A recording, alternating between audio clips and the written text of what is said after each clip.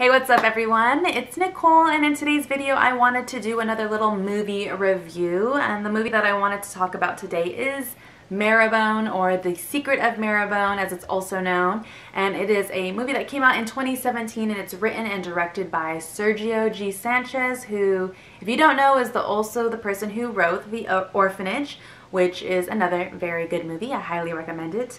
This movie also stars Anya Taylor-Joy, George MacKay, Charlie Heaton, and Mia Goth. So again, a really good cast in it.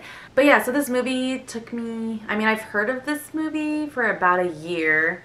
Even though I know it came out in 2017, I had never heard about it in 2017. I only saw it when I was browsing randomly one day on Hulu for a movie to watch and I saw it there and I read the synopsis, watched the trailer, and I thought, hmm, that movie, you know, looks pretty good and I kind of just added it to my list of movies to watch and it took me legit like almost a whole year to finally get to watching it because I'm really bad at watching new movies. I'm definitely more of a type of person to watch things over and over and over that I have already watched before and I know that I enjoy it. Um, so it just took me a little bit, but then one day recently I was just, again scrolling trying to find something to watch and I was like, you know what, I think today's the day. I'm, I'm, I'm gonna watch the movie. And it was very good. I kind of am a little bit upset that I didn't watch it a little bit sooner because I honestly think it's one of my favorites. Like I said, it, the writer and director who wrote and direct this, directed this movie, um, he also wrote the script for The Orphanage, which is another movie that I really enjoyed. And although this one isn't in Spanish, like The Orphanage is, it's in English. But yeah, I can definitely see some parallels between the two movies. I think if you definitely liked The Orphanage, I think you will like Marrowbone. Um, they kind of have, they're not the same story by any means. They have like the same vibe to them. They're very kind of moody, mysterious, um, suspenseful. This movie is about a family who is kind of fleeing their past life from England and they're now living in America and they're trying to start anew. It's a family of five, four kids and a mother. And when they get to America, you know, the mom is like, hey, once we cross this threshold, we are forgetting everything. All of our memories start now. And they all agree to it, and that's where the movie kind of starts. And unfortunately, though, the mother becomes ill and she then passes away. And it is then thrust upon the oldest son, whose name is Jack, to kind of keep everything that, well, her passing a secret until he turns 21, so that way he is legally able to care for his siblings and the family won't get separated. And all the meanwhile, all this is going on, they are also being haunted by a mysterious force. I don't know, haunting ghost. I don't really know um, what they're being haunted. Well, I mean, I do know, but I don't want to reveal it. But they are being haunted by something in their house. So they're kind of dealing with these two different things while they are, you know, trying to stay together and not let the outside world know that they their mother passed away. So as I said, the movie definitely had a kind of mysterious, suspenseful atmosphere to it. I think definitely the way it was shot in the, like the cinematography, I guess. I think like the colors seemed like everything was very kind of dark and muted. And there was no like bright colors really anywhere. And yeah, so I think that definitely contributed to that. And then as well as, I don't know, the, the house itself, it was kind of interesting because I feel like when I first, you know, when we first are introduced to the house, the house doesn't seem like it's very upscale or anything by any means, but I didn't get the sense that it was falling apart.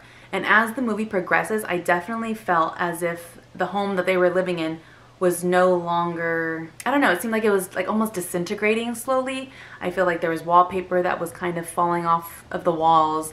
The ceiling was coming undone. You know, there was holes all throughout the house and the walls and whatnot.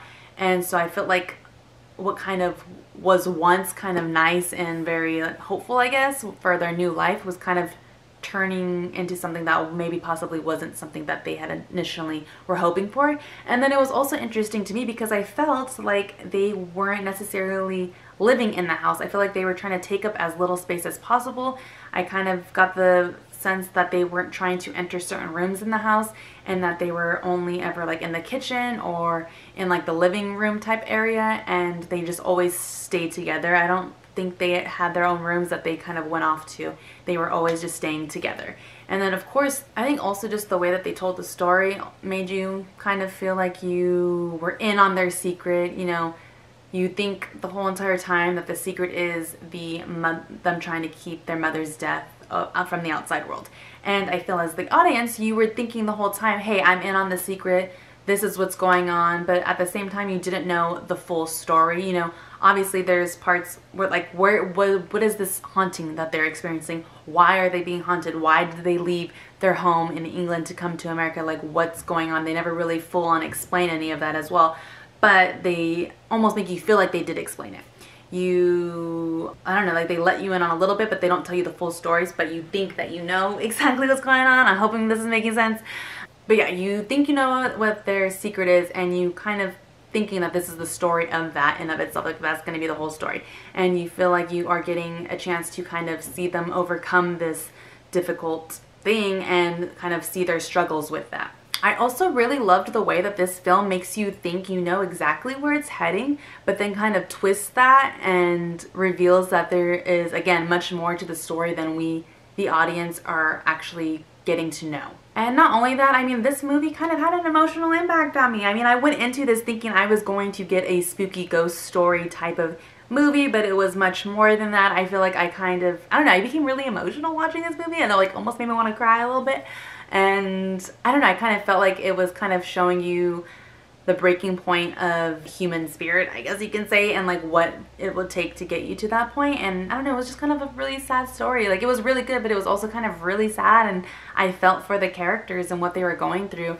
Um, obviously, that's I think mark of a good movie, but I don't know. It was especially that like reveal at the end. It was like, oh my god, that like hurt my heart. And then also after look, I looked into this movie after I watched it, as I do to most of the movies that I watch, and I realized that a lot of what the director slash writer was saying about the film and the way that they kind of put little clues in there to kind of almost not reveal, but like yeah, give little clues onto where the what was going to be the reveal. At the end of the movie, I realized I did not pick up on like half as much as I thought I was going to pick up, and usually, I mean, usually because I do watch movies multiple times in a row, I feel like I'm more able to kind of see what was going on. But obviously this was my first time watching it and I didn't pick up on any of that. And now knowing what I know, I definitely want to watch this movie again. I think this is a movie that you could definitely watch multiple times and pick up on different things that you didn't pick up on the first time around. I know for a fact that I'm going to watch it again and I'm going to be looking out for some of the things that I saw that the writer himself said that they put in the film to kind of hint hint at certain things and yeah, I thought it was just really cool and I think it adds a lot to the movie. So yeah, overall, I really enjoyed this movie. I think, again, if you are a fan of The Orphanage and that type of style and story of a movie, I think you will definitely enjoy this one. Um, yeah, so I encourage everyone to watch it. I feel like it's kind of an underrated movie. I don't know. I don't know if it is, but I, I personally feel that it is because I had not heard of it. Not that I have heard of every single movie out there, but yeah, I feel like I hadn't heard of it and I feel like I didn't, I like didn't hear people talking about it at all. And I think it deserves a lot more credit than it currently has. And I think more people should definitely watch it. So I definitely encourage you to go ahead and watch that. But yeah, that's it. That's all I have for you today. I hope you enjoyed this little review that I had. And I hope you definitely check out Marrowbone. I think it's one that everyone who likes kind of dark, haunting, heartbreaking stories will enjoy. And yeah, I will see you guys in the next one.